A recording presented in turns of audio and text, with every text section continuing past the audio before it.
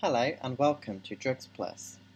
Whether you're here for exam revision or just general interest, I hope you find this video useful. If you do, please give it a thumbs up and subscribe for similar content coming soon. Today's video is part of my current series on therapies for type 2 diabetes, and this particular video focuses on glucagon-like peptide 1 or GLP-1 analogues. I'm going to start with a brief introduction about the disease itself. Islets of Langerhans are small patches of endocrine tissue in the human pancreas. They contain alpha cells, beta cells, and delta cells, among others. When our gastrointestinal tracts are empty, usually in periods above three hours after a meal, alpha cells secrete glucagon. Glucagon acts in a wide range of tissues in the body, all with the aim of ensuring blood glucose concentrations don't get too low. These effects include inhibiting glucose uptake by bodily tissues, as well as the breakdown of storage molecules to generate glucose.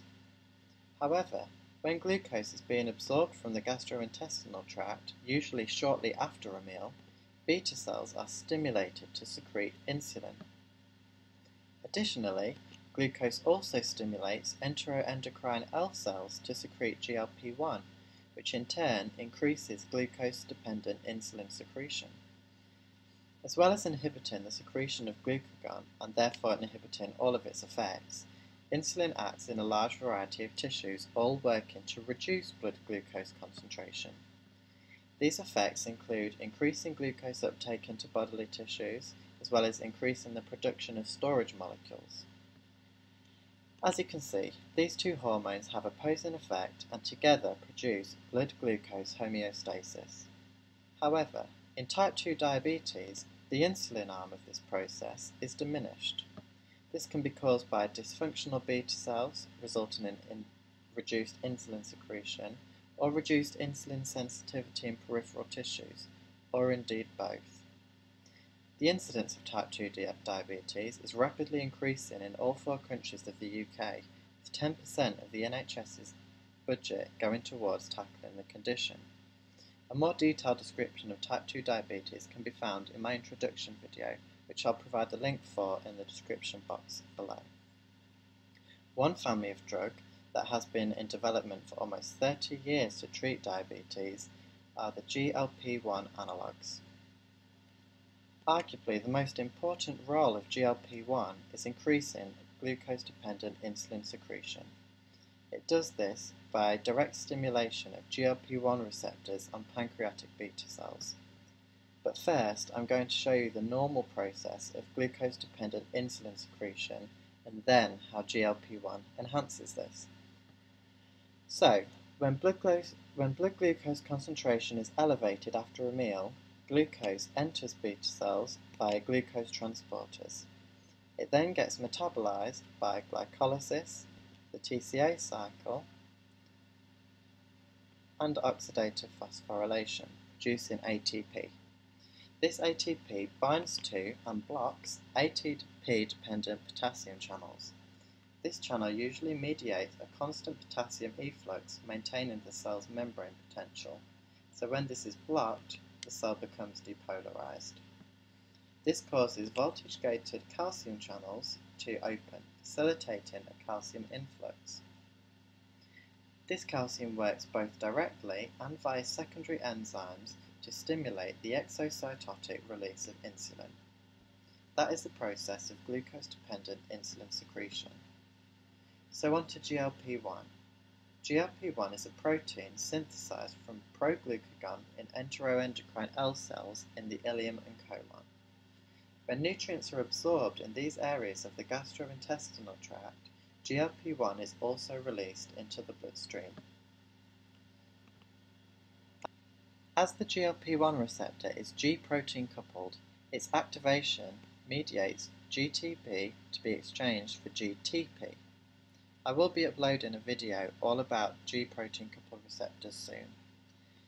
This allows the alpha subunit to dissociate and activate adenylyl cyclase, which stimulates the production of cyclic AMP. Cyclic AMP activates protein kinase A, which goes on to phosphorylate and inactivate ATP-dependent potassium channels.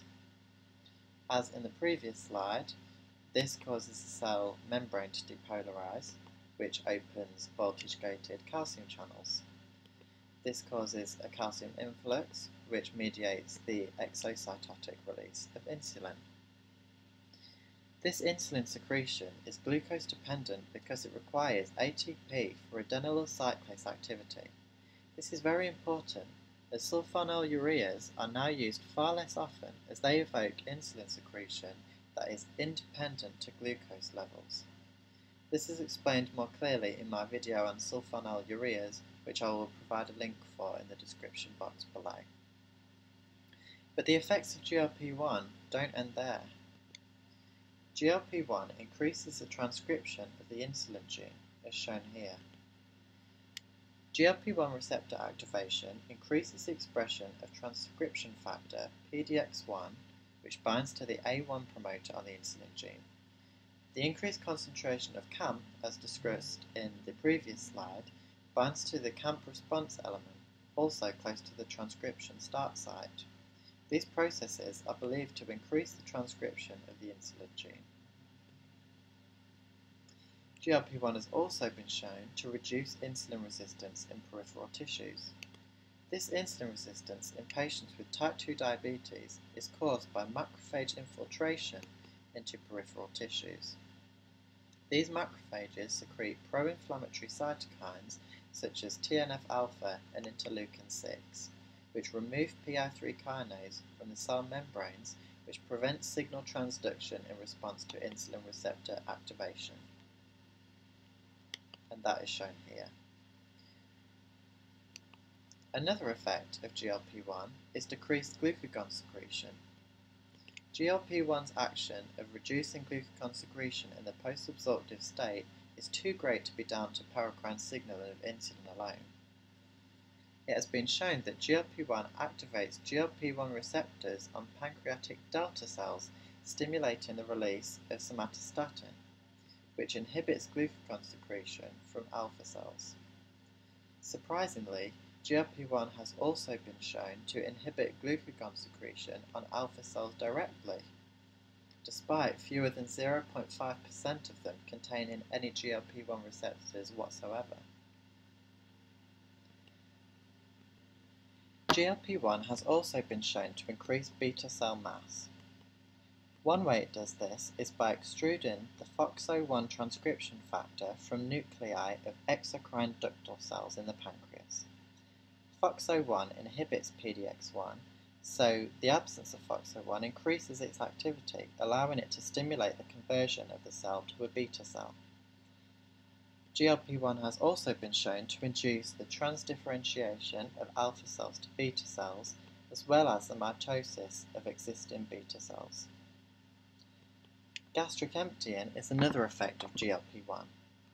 GLP-1 acts on vagal nerves directly, increasing tonic contraction of the pyloric region of the stomach, preventing food from entering the intestines, while also decreasing peristalsis, decreasing the motility of any food that does reach the intestines. GLP-1 also acts on gastric parietal cells, reducing gastric acid secretion, thereby reducing the speed of nutrient absorption. A delay in gastric emptying is advantageous for type 2 diabetics because it decreases the speed at which glucose enters the bloodstream. The final two effects of GLP-1 do not affect type 2 diabetes directly, but can help prevent common diabetic complications. The first of these effects is cardioprotection. GLP-1 receptors are expressed in all four chambers of the heart as well as the sinoatrial node just as abundantly as in the pancreas. It has been shown to decrease cardiac ischemia, particularly in patients post-myocardial infarction, decrease platelet aggregation, and systolic hypertension. The cardioprotective qualities of GLP-1 aren't completely agreed upon, however, some more recent papers have shown the opposite, that GLP-1 agonists cause cardiac deterioration in patients with heart failure, so obviously more research needs to be done here. The second of which is diabetic nephropathy. This is a condition that affects 35% of patients with type 2 diabetes. It involves an accumulation of reactive oxygen species causing damage to the glomerulus, causing a decreased glomerular filtration rate and increased albuminuria. The progression of both of these symptoms has been shown to be slowed by GLP-1. So now onto some example drugs. In 1992, Eng et al. isolated a protein called exendin-4 from the venom of the Gila monster. A synthetic form of this, exenatide, was the first GLP-1 agonist to make it to market. This is GLP-1 shown here, and this is exenatide.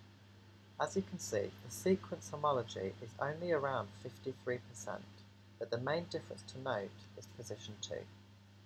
Here, the alanine residue has been substituted for glycine. This prevents degradation by DPP-4. Physiologically, DPP-4 cleaves GLP-1, inactivating it at this position, making its half-life in the body only around 2 minutes. This substitution increases the half-life to 2.4 hours. Exenatide was therefore able to be injected twice daily, one hour before each meal, and is still on the market today. However, the time requirements for twice daily administration was difficult and inconvenient for patients and produced poor patient compliance. The solution to this came in the form of liraglutide.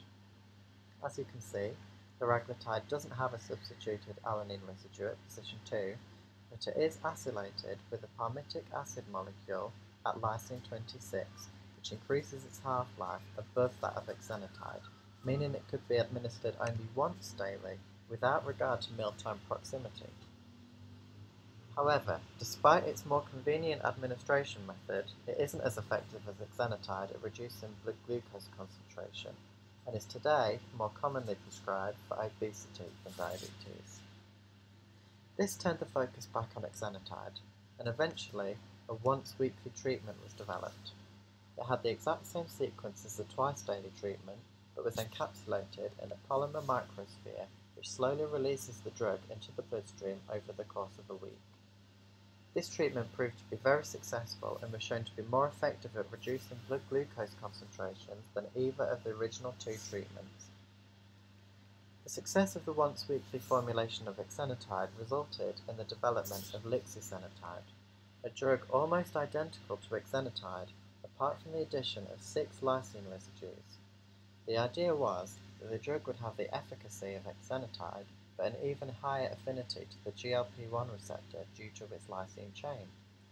While both of these measures were true, exenatide was still more popular due to its one-week formulation. With the importance of the once-weekly administration method in mind, albiglutide was developed. This drug is comprised of two GLP-1 molecules joined together with the alanine glycine substitution as seen in exenatide, as well as the addition of an albumin molecule. These two alterations increased its half-life to around five days, making once-weekly injections possible. Despite this, albiglutide was shown to be poorer than all of its predecessors at reducing blood glucose concentrations. Around the same time, however, dulaglutide was developed. Dulaglutide is also made up of two GLP-1 molecules with the alanine glycine substitution but is this time joined by immunoglobulin G4 molecules. This increased its half-life to around 5 days, making once-weekly injections possible. Dulaglutide has been shown to be more effective at reducing blood glucose concentrations than even exenatide. And finally, semaglutide was developed in 2017. Semaglutide features a substitution of alanine 2 for alpha-aminoisobutyric acid as well as the acylation of lysine 26 with an 18 carbon chain, both reducing DPP-4 degradation. In 2018, a series of clinical trials showed that semaglutide is more effective at reducing blood glucose concentration than any other GLP-1 analog. However, its relatively short half-life meant that it needed to be injected once daily, putting the future success of the drug into question. However, less than a year ago, Semaglutide became the first GLP-1 receptor agonist to be approved for oral use. The reason why GLP-1 agonists have historically been administered subcutaneously is because they are peptides. Peptides are vulnerable in the stomach as they are broken down by various proteolytic enzymes. They are also impermeable to the phospholipid bilayers of intestinal membranes, meaning that any molecules that do survive can't be absorbed anyway. However, in its oral formulation, semaglutide is non-covalently bound to SNAC. This protects the drug from degradation in the stomach and allows it to permeate the intestinal membrane before dissociating in the bloodstream. Currently, only around 3% of patients with type 2 diabetes are prescribed with the GLP-1 agonist, but this development is huge and could soon make them one of the principal treatments for treating type 2 diabetes. Thank you for watching this video. If you found it useful, please give it a thumbs up and subscribe. I'll be back with more pharmacology videos soon.